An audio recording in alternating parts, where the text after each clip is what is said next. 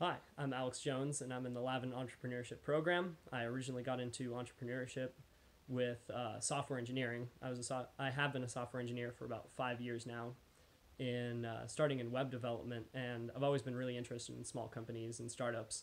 So I have done web development for startup companies for a while, and then moved into back end development and now firmware. And right now, I'm working with two startups in the uh, medical wearable space. One of them is a wristband that you use to uh, measure your heart rate very accurately, and then it tells you how best to breathe to reduce stress.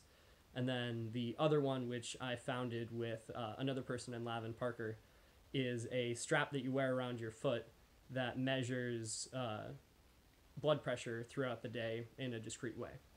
And I just kind of ended up in the uh, wearable field.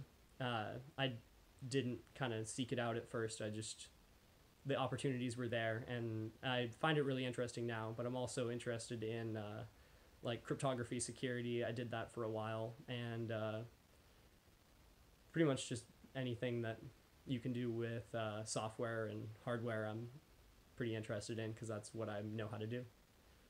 Um, thank you.